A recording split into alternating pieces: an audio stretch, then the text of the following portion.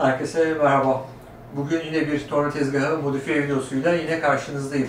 Bugünkü projemizde Foreman TH2866 model masaüstü torna tezgahımızın kutu açılışında da değindiğim tezgah üzerinde bir ikaz işaretinin, ikaz ışığının olmaması benim çok dikkatimi çekmişti. En büyük yaşadığım eksikliklerden bir tanesi de buydu. Çünkü tezgahın üzerinde canlı elektrik var mı? Tezgah çalışıyor mu, çalışmıyor mu? Tezgahın şartelleri açık mı, kapalı mı? Bu konu hakkında tezgah bize bir geri dönüş vermiyordu. Dolayısıyla bugünkü işleyeceğimiz konu tezgaha bir tane uygun ikaz ışığı takmak olacak. Projeye geçmeden önce hemen hatırlatayım. Veles Piklet'in bir tane Instagram hesabı var. Bu Instagram hesabını da takip ederseniz beni çok mutlu edersiniz. Hemen şimdi konuya geri dönelim. Ben projeyi gerçekleştirirken standart 22 mm endüstriyel ikaz lambası kullanmayı tercih ettim.